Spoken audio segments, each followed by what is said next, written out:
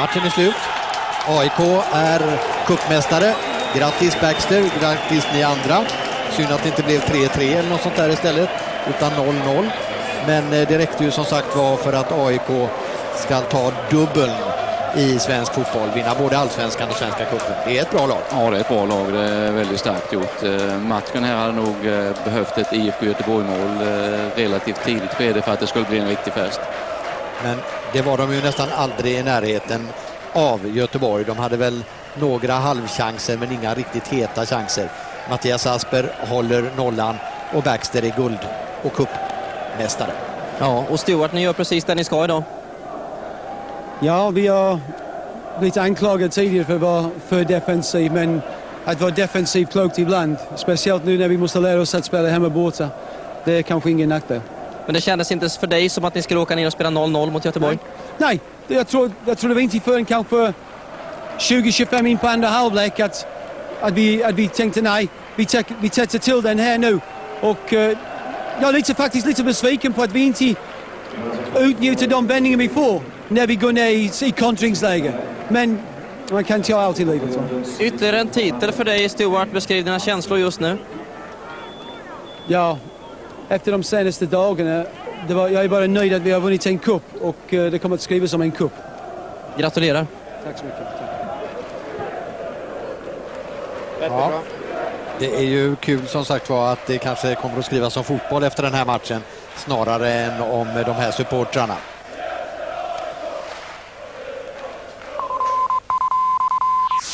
Den här sändningen presenteras i samarbete med Aftonbladet.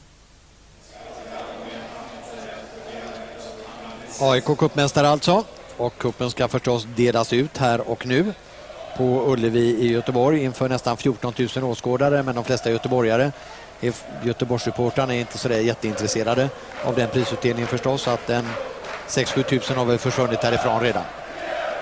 Slutsignalen utlöste en viss glädje naturligtvis på AIKs bänk.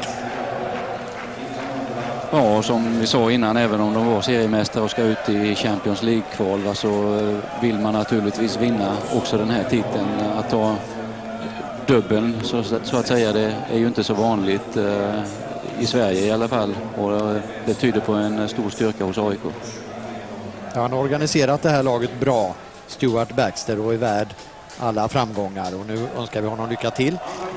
Inte minst i Champions League-kvalet då naturligtvis för det är ju som sagt var ett extra lyft om det går bra för ett svenskt lag i de där kupperna och kan Norge och Danmark och Finland så ska vi kunna få med ett lag också eftersom man utökar Champions League spelet år från år. Ja, det tycker jag absolut. Ja, det skulle vara hemskt eh, skoj för svensk fotboll om AIK nu lyckas att eh, ta sig till slutomgångarna här i Champions League. För att eh, som sagt, det höjer fotbollstemperaturen betydligt eh, under hösten och, och, nästa vår. Och förutsättningarna finns, för det finns eh, kapacitet hos det här laget, inte bara defensivt. Nej då, det gör det. De visade prov på fantasirik anfallsfotboll idag också och har en del eh, intressanta spelare som kan göra det lite på egen hand också. Och när Bosan Novakovic kommer tillbaka så blir det ännu bättre för han har inlett säsongen storartat. Vi såg Bengt Madsen där dela ut andra priset så att säga till IFK Göteborgs besvikna spelare.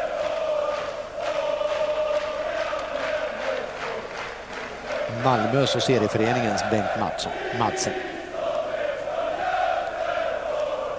Ja, Bengt Madsen är nu vice förbundsordförande i fotbollsförbundet och det är i den egenskapen han är här som prisutdelare. Just det, för Lars-Åke Lagrell blir kvar uppe på förbundet eller har han möjligen åkt hem till Småland? Ja, jag, jag, vet inte var Lars-Åke befinner sig idag. Möjligt att han är utomlands han har uh, ofta en del utlandsuppdrag också. Just det. Hoppas nu bara att eh, efterspelet till den här kuppen blir lugnt och sansat. Vi kan ju inte mer än hoppas på det. Bengt Madsen, vice ordförande i Svenska Fotbollförbundet, väntar alltså på att dela ut den här bucklan till lagkaptenen Christer Nordin. Ytterligare en AIK-seger alltså. Och det är det AIK-klacken som får jubla där borta i kurvan. Och även om, som vi har sagt, statusen på Svenska Kuppen kanske inte går att jämföra med utomlands så är det ändå en speciell eh, känsla av att kunna lyfta cupbucklan så här.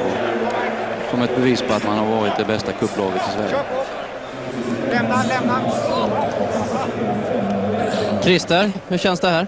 Ja, det känns underbart. Det är fjärde guldet för mig. Det var på ett enda mål som Patrik Englund står in. Ja, det är små tillfälligheter, eh, men eh, jag tycker att vi var det bästa laget trots allt.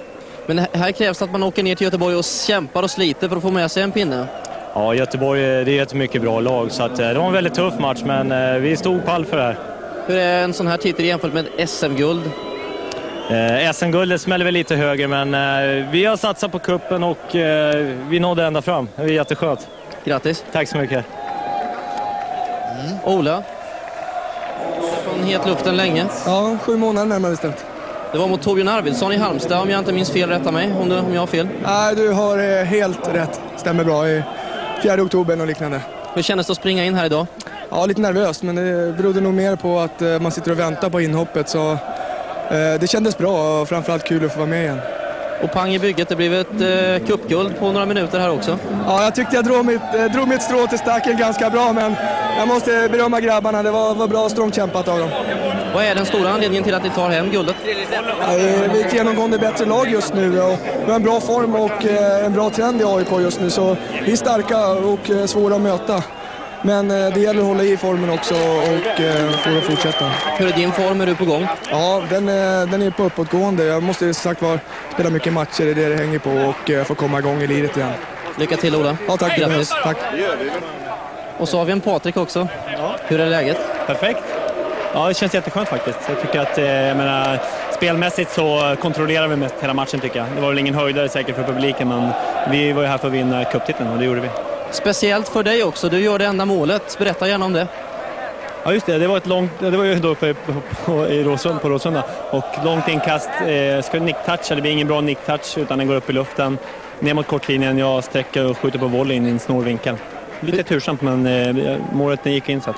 Hur känns det just nu? Är det, slår det här högt i dina ögon? Ja, perfekt. Det är skitbra. Jag menar, vi, vi, det är det enda man spelar för, det är titlarna. Men sen om man vinner en match hit och dit, då förlorar jag mig också ibland. Men just att eh, vinna titlar, det, det, är perfekt. Känns det som ni är Sveriges starkaste lag just nu? Ja, cupmässigt så är det i alla fall. Grattis Patrik. Tack för det. Diplomatiskt, diplomatiskt svarat av Patrik Englund som alltså är den stora matchvinnare. Och han var en av planens bästa spelare idag igen. Ja, han är mycket duktig och han har varit duktig i flera år sedan han kom hem till AIK får vi säga. Dominant. Han har varit nära en landslagsplats även i ditt landslag. Ja, absolut. Konkurrensen där har ju varit ganska tuff. Eh, för vi har haft och har fortfarande ett väldigt bra mittbackspar. Men eh, Patrik Englund är allsvenskans kanske dominerande mittback.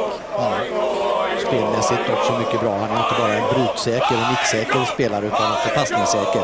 Och som du säger farlig i eh, situationer framåt. Ja, sen han lugn och eh, inger trygghet för omgivningen också. Det tror jag betyder väldigt mycket. Kupphjälte nummer ett alltså, Patrik Englund. Hyllar mästarna, gör även Ullevi-publiken och det ska de ha en honör för. Men mest jublas det förstås nere i AIKs kurva här nere.